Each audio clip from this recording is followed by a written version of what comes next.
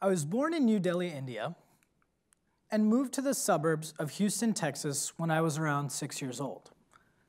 I spoke no English, and my parents only spoke Hindi or Punjabi at home. It drove me insane. While I obviously ended up learning English, it took me years to get rid of my accent, something that was a point of contention between me and my parents for so long. But then one day, a switch flipped.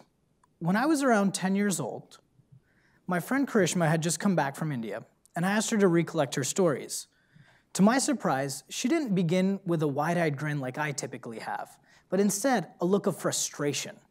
She said it was hot and polluted, and I could barely understand my relatives, and I have no idea what my grandma even said to me. And that's when I realized what my parents were doing. They weren't trying to prolong my accent or make school harder for me. Instead, their rule was simple You forgot your language, you've forgotten your heritage. I was fortunate enough to retain and be proud of both. That's my name in Hindi, by the way. So, I stand before you today to talk to you about how language and culture are constantly molding each other, and how multilingualism helps you dispel prejudices and biases and go beyond boundaries. From a simple scientific standpoint, there's enough reasoning for you to learn a language. Multilingualism is correlated with higher cognitive ability and problem solving skills. So, those two years of foreign language requirement are more than just two years of online homework. Now, because you took that Spanish class, can you finish your econ problem set 20 minutes before it's due? Si se puede. Yes, you can.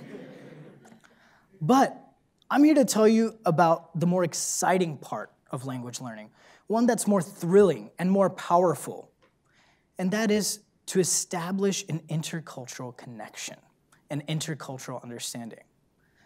Through the use of language, you're creating a bridge of familiarity and trust, not just between two people, but between two different worlds. By using someone's mother tongue, you're creating a level of comfort and trust that's simply unparalleled. And if you're not using it to gain access to their culture or traditions, well, at least realize that it helps you gain favor. And every good mafia movie has taught you that you can never accrue enough favors. Because you see, learning a language is much more than just asking where the bathroom is or how to order the right type of kebab, a point I'll touch upon later.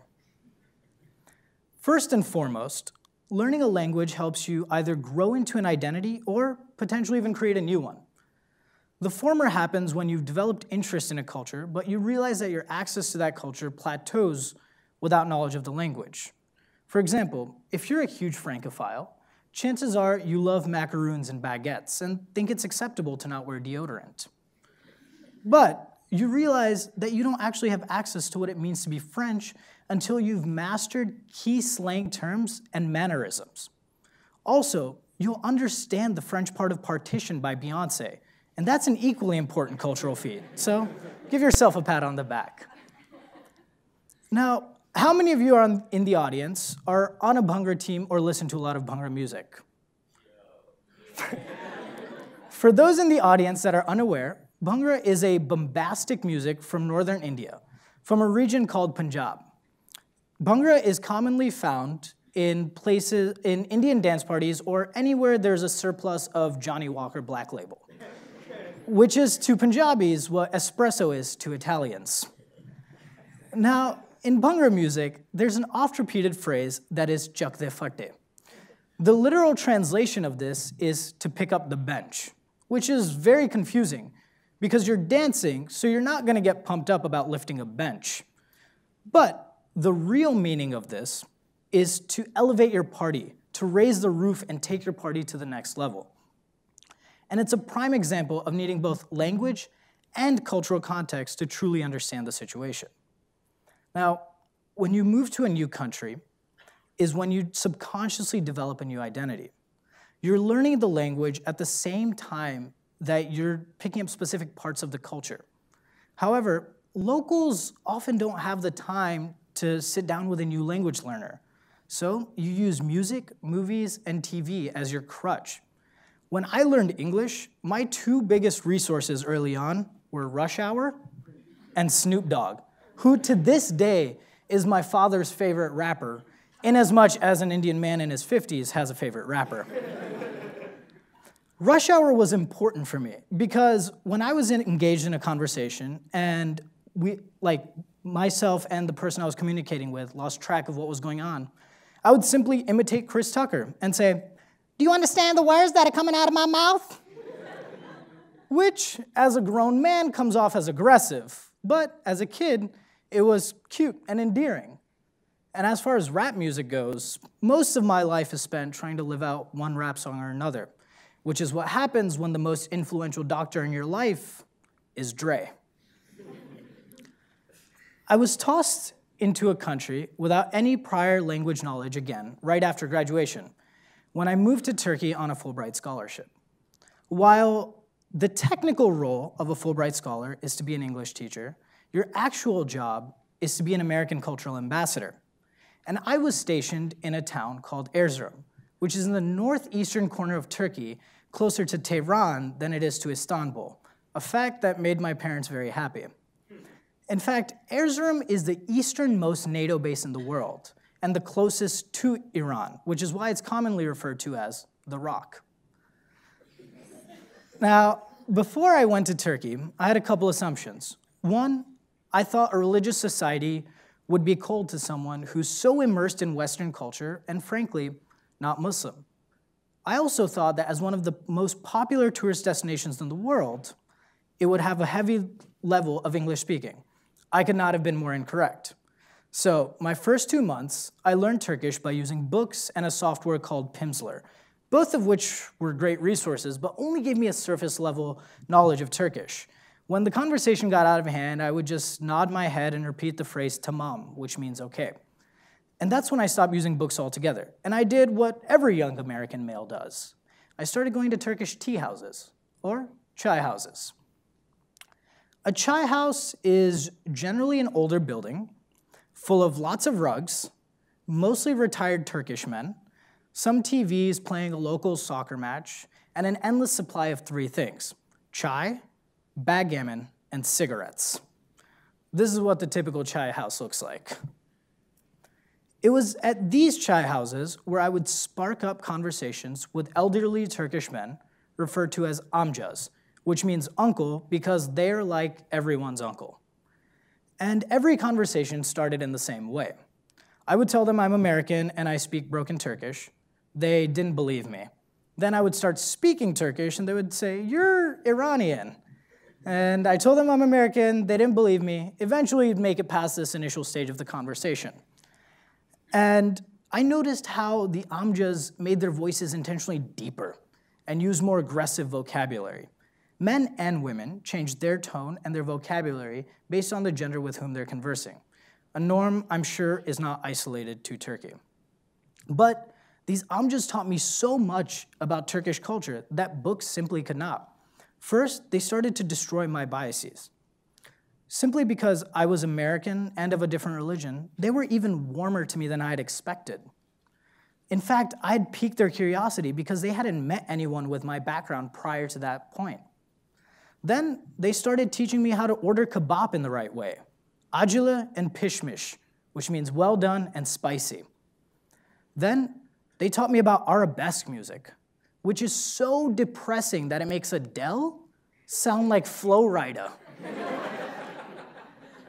So depressing, in fact, that the lead arabesque singer has a phrase tied to them, which is bir bilet alana, bir jilet bedava.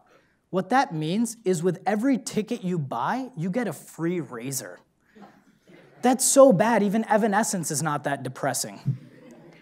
The Amcas would then ask if I would convert, marry their daughters, and take them to America, to which I politely refused. I then used the cultural learnings from the Amcas in class to create a deeper exchange between myself and my students. And this helped facilitate a more personal touch in the classroom. My students gave me the music of Tarkan and Hadise, along with the comedies of Cem Yılmaz. In return, I gave them Fresh Prince of Bel Air episodes and rap music, which led me to receive this text earlier in the summer. For those of you that can't read it, it says, Bro, I have started to listen Drake and Kanye because of you. How beautiful they are. Thank you so much. with the blessed hands. Those are your tax dollars at work, America. And then I started to incorporate topical debates into the classroom, mostly centered around student life, like should homework be mandatory or not. But then I had a student approach me about Ferguson. Started asking questions about race relations, guns, the police, etc. So we held a debate on Ferguson, which led my students to create the following sign. It says, We are all Michael Brown. And this, regardless of your political beliefs, stood out to me as a very powerful moment because our, our classroom went from just learning a language to establishing a greater cultural exchange and understanding. We went from covering present progressive tense to voicing present progressive ideology. These students, many of whom left their birth cities for the first time, took learning a language from a classroom chore to a greater cultural connection and wholly embrace the idea of going beyond boundaries. And the student who exemplified this most was Farouk. Farouk came from a family of seven in Kars, a town even more remote than Erzurum. His family was very conservative. His parents got married when they were around 14 years old and started having children shortly thereafter. As a result, Farouk held certain beliefs that are quite common of people from big families in rural areas. He was conservative, both religiously and culturally. And early on in the course, he didn't really participate, barely made any semblance of effort. But then as the class proceeded, he became more active, more engaged. He started watching TV shows and movies. He started coming to my office hours. So I asked Farouk when he stopped being so shy, and he looked at me kind of confused. He told me he was never shy. He's been an extrovert for most of his life. So I asked why he didn't speak in my class earlier. And that's when he told me it was because he used to not trust people who didn't believe in the same God he did. And he especially didn't trust Americans because they were going places and trying to take over. Keep in mind, in villages like Farouk's, fear of losing their state or religion were a reality only a few decades ago. There are pockets of America where people hold comparable beliefs simply because they don't have the exposure to believe otherwise. However, in my class, Farouk learned that people of other religion will not always try to convert or corrupt you. That Americans don't always look like imperialists. Sometimes they're petite Indian gentlemen with dense beards. Through learning English, Farouk found access to a world unbeknownst to him. He started with more formal classroom English and then started watching How I Met Your Mother and other sitcoms. He started listening to American music. I made a believer out of him. Farouk started showing American movies to his family that they had previously banned to show how Americans can, in fact, be a friendly people. None of this would have happened had he not started taking the course, but then started taking the extra initiative to explore a culture that goes beyond his comfort zone and everything else he's learned prior to that point in his life. Beneath each of these anecdotes lies an example of how language learning has led to greater cultural exploration.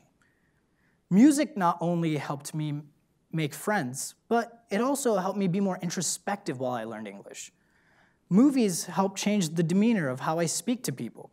Current events in the news help my students explore learning a language and then also explore a culture and the deep nature behind a nation's cultural fabric, both what makes it great and what tears it at its seams. We're about four months into the new year your resolution of going to the gym more often has gone to the side for Giordano's lunch special. I mean, who can resist, right? But you can take on a new challenge. Instead of stopping at learning a language, try to take a deeper understanding of a culture and see how you can destroy your preconceived notions. In my case, my time in Turkey and my relationships that I'd built with the students helped me have a greater appreciation for the deeply religious. They helped me realize that a strong adherence to one's faith is not always at odds with intellectual curiosity. Standing out to an unfamiliar group of people or in an unfamiliar country can make it easier for one to be judged. But it can also make it easier to show what you represent, the values you stand for that inspire you, that inspire a nation. While learning English, I was able to convey Indian traditions and culture to the elderly Christians of Houston in the same way I was able to convey American culture and traditions to the elderly Amcas of Erzurum. Because language and culture are constantly molding each other, which is why you have a different vernacular than that of your parents. Because language isn't just a set of words, it represents who we are at different stages of our lives. Language and culture help us understand ourselves and our neighbors better, and that is how we go beyond boundaries. Thank you.